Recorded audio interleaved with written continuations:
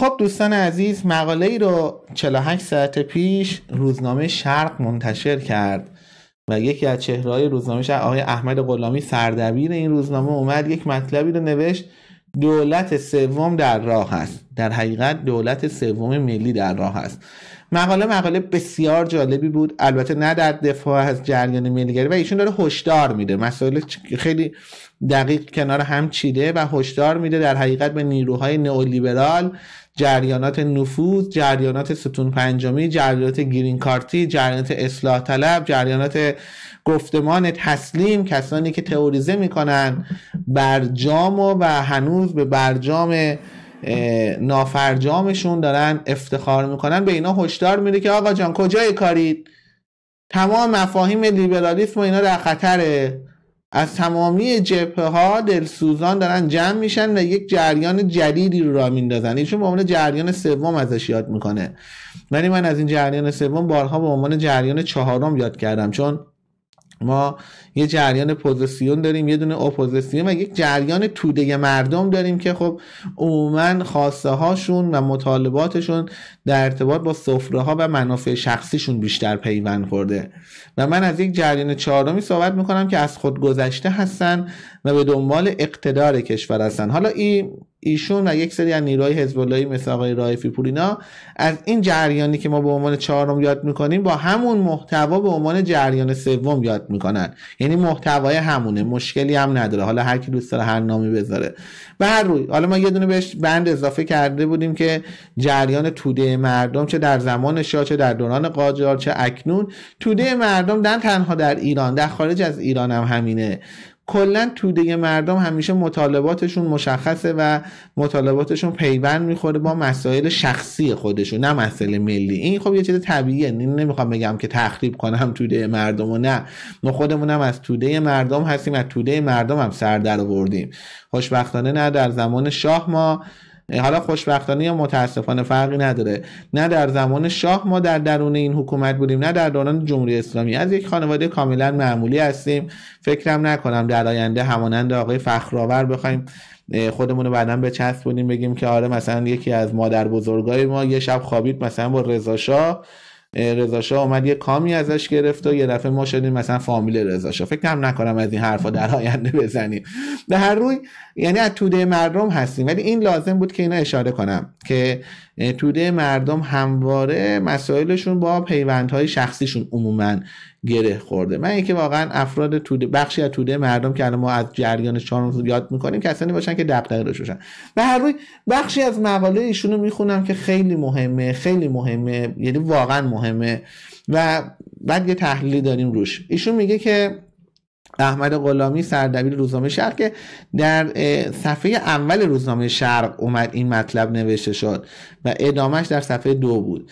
میگه که من کل مقاله خب خیلی طولانی است. من یک بخشی از ابتدای مقاله و یک هم پاراگراف آخر مقاله رو آماده کردم که براتون بخونم. که همشو بخوام بخونم خیلی طولانی میشه. میگه انگار بازگشت به هویت ملی اجتناب ناپذیر شده است. معلومه که اجتناب ناپذیر شده است نه بود متاسفانه یه مدتی برخی فکر می‌کردن در صد سال گذشته یه عده از روشنفکران ما با پیوند زدن مسائل اجتماعی به باورهای حجازی اسلامی می‌خواستن مشکلات مملکت رو حل کنند عده دیگه از روشنفکران ما در صد سال گذشته آقای غلامی بر پایه باورهای شرقی مارکسیستی می‌خواستن مشکلات مملکت رو رفع و رجوع کنن. و عده دیگه هم که از گذشته و تا به امروز هم که قدرت خیلی بیشتری گرفتن با مبانی غربگرایی مبانی و ارزش های بی ارزش از من ارزش های بی ارزش غربی می‌خوان مسائل مملکت رو بیان بررسی کنن. ولی هر سه گروه روشنفکر اسلامی غربگرا و مارکسیست در جهل مرکب دارن سیر می‌کنن. مسائل بر اساس ملی و ایران شهری باید حل بشه. و اینکه امروز اشترام ناپذیر شده است متاسفانه دیر شده است. خیلی دیره الانم. باید سیر زودتر از این حرفها ما به سمت ملی گرایی می‌رفتیم بر روی میگه انگار بازگشت به هویت ملی اشترام ناپذیر شده است. شما چرا ناراحتی؟ میگه این روزها اغلب جریان های سیاسی بیش از آن که بر سایر آموزه ها پافشاری کنن از هویت ملی دم می‌زنن. دقت کنید.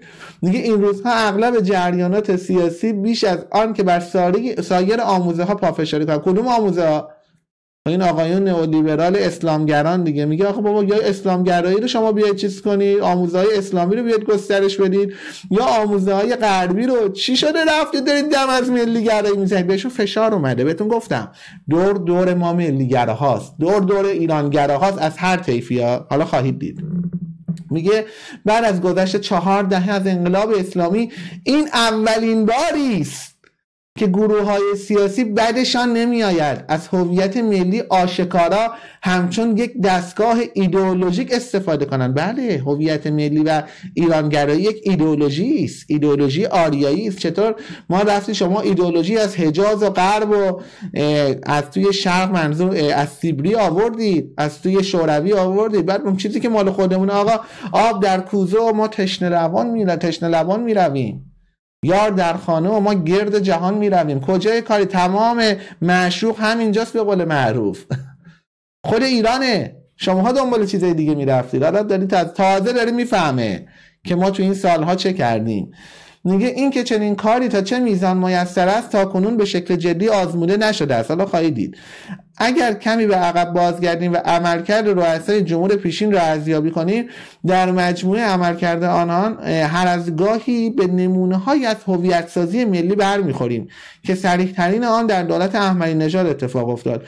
دولتی که دست بر غذا آمده بود تا آموزهای دینی و مذهبی را گسترش دهد. دولتی برآمده از کف مسجد که حامیانش احمدی نژاد را الگوی تمام ایار یک بچه مسجدی ناب باورمند به مهدویت می‌دانستند. اما هرچه گذشت احمدی نژاد بیشتر به دنبال یافتن جایی مطمئنتر در سیاست بود. جایی که ببین خیلی مهمه. جایی که با هویت کثیری از مردم پیوند خورده. با هویت کثیری از مردم. ملیگرایی است که به ماها رو به هم پیوند میده. این تنها هویتی است که همه ماها به هم مربوط میشیم. از مسیحی بهایی چه می‌دونم هر جریان فکری این هویت ملی است که ما رو به هم پیوند میده. و از اینجا بود که ایده هویت ایرانی با استعاره مکتب ایرانی که آمیزه ای از مکتب تشیع با ایرانیت بود دقیقا تشیع کاملا مهندسی آریایی است. شکل گرفت. احمدی نژاد برای گره زدن خود به این دو مفهوم بسیار تلاش کرد. او در صدد بود جریان سومی را در سیاست ایجاد کند و برداشت درستی از این جریان سیاسی داشت. خب البته در مورد احمدی نژاد بگم یادتونه دیگه به من چه حملاتی شد که حالا ما در چند محول خب می‌دونید داستان احمدی نژاد خیلی از نیروهای دوستان ما نزدیک شدن که این جریان های احمدی نژاد به سمت ملی بیشتر هدایت کنن. و خب این قضیه ما هم توش به یک گونه های دخیل بودیم که دوست ندارم جلو دوربین بگم که یه عده فهمیده بودن از این رضا بازان یه مدت اینو دست گرفته بودن احمقا فکر می‌کنن منو دارن تخریب می‌کنن. آی امید دانا اینا در تیم احمدی نژاد رفته بودن نفوذ کرده بودن بحث ایرانگرایی. فکر می‌کنن منو دارن تخریب می‌کنن. چقدر بابا اینا بچن به خدا. پاراگراف آخر. حالا در اینجا دولت احمدی نژاد توضیح میده. که به دنبال ملیگرایی رفت و بعدم یه خود خاتمی میگه همه اینا رو حالا میاد تحلیل می‌کنه و ولی پاراگراف آخر مهمه که یه مقدارم طولانی است میگه اکنون بعد از چهار دهه به نظر می‌رسد جریان سیاسی دیگری در راه باشد. چه جریانی است؟ که بعید است این جریان سوم از میان اصلاح طلبان و اصولگرایان سر بلند کند. تموم شد. به قول معروف حالا می‌گفتن اصلاح طلب اصولگرا دیگر تموم ماجرا. حالا ماجراشون تمومه بله ماجرا این دو طیف تمومه و اصولگرا اصلاح طلب باید شعار بدیم که بیایید سمت ملیگرا. خب میگه که جریان سوم جریانی است که هویت ملی در آن معنای دفاع از سرزمین در برابر تعرض بیگانگان را دارد. هویتی مبتنی بر جغرافیا. و, و حفظ تمامیت نقشه ایران. دقیقا. خوب فهمیده نویسنده که ما داریم چیکار می‌کنیم. میگه فارغ از این که این جغرافیا در خطر باشد یا نباشد همه مردم و احزاب می‌توانند مدافع جغرافیای ایران باشن آفرین. بچه حزب الله می‌تونه مدافع جغرافیای ایران باشه تا مسیحی تا حالا جریان اسلام ستیزه و همه جریانات می‌تونن رو حول و حوش جغرافیای ایران متحد شن دقیقا.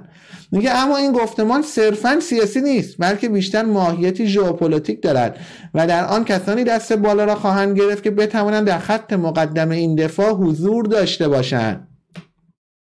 همینه دیگه ببینید.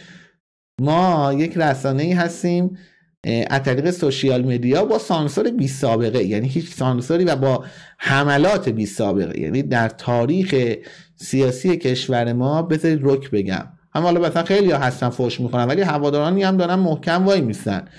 ولی فکر می‌کنم مظلوم ترین چهره سیاسی که تا به امروز بیشترین فوش خورده من بدبختم هر چه درنشه ولی به خاطر که گفتمان قوی با همه این سانسورها و غیره ایشون میگه دست بالا رو کسایی می‌گیرن که از این مفهوم بخوان دفاع کنن. چون از این مفهوم ژرف ایران شهری ما دفاع کردیم از ناسیونالیسمی که اصلا ناسیونالیسم ما در حوزه عرفش دارم میگم نه حوزه اکادمیکش چون اکادمیکش متفاوته. در حوزه عرفش که ما ناسیونالیسمی که بر پایه جغرافیا و بر پایه هویت ایرانیسم ما داریم دم می‌زنیم و محکم تو این حوزه وایسادیم دیدید دیگه ما تمام سطح ها رو شکستیم و الان یواش یواش ببخشید ما داریم تبدیل میشیم به یک رسانه جریان اصلی. داریم تبدیل میشیم الان برنامه تحلیلی ما رقابت می‌کنه با بی بی سی مناطق که اصلا در حد ما نیست. برید نگاه کنید بازدیدها رو. بازدیدهای ما شما مناطق رو همون برنامه های شو موش رو نگاه می‌کنن دیگه. در چارچوب برنامه سیاسی ما الان یک رسانه بسیار قدرتمندی شدیم. خب خاطر چی اون گفتمان است؟ برای همین دسته بالا رو گرفتیم. ایشون میگه که در آن کسانی دست بالا را خواهند گرفت که بتوانند در خط مقدم این دفاع حضور داشته باشند. حضور نظامی که تبعات آن سیاسی خواهد بود سیانت از مرزهای کشور در برابر بیگانگان است که احساس هویت ملی گمگشته را برمیانگیزد و غرور ملی را جلا می‌دهد. این فرصت مقتنمی است برای چهره های نظامی که به چهره های سیاسی تبدیل شوند. سیاستی خلق کنند و مسئله اینجاست که چه کسانی از این سیاست برخواهند خواست. مشخصا سرداران گارد جاویدانه. توی شک نکن میگه با مقایسه واکنش های مردم در فضای مجازی به دستگیری ده ملوان آمریکایی در سال 94 و توقیف نفکش انگلیس در سال 98 به تغییر سیاسی ایجاد شده بیش از پیش پی خواهیم برد. شرایط به سمت سوی می رود که کار را برای تاثیرگذاری جناهای سیاسی و چهره های آنها به مراتب دشوارتر خواهد کرد. اگر نیروهای سیاسی نتوانند دست اینجا داره هشدار میده به جریانات نئولیبرال پدر سوخته. میگه اگر نیروهای سیاسی نتوانند دست به احیا و بازسازی خود بزنند و بر کلیشه های سیاسیشان پافشاری کنند فرصت از دست می‌رود. رفته عزیزم.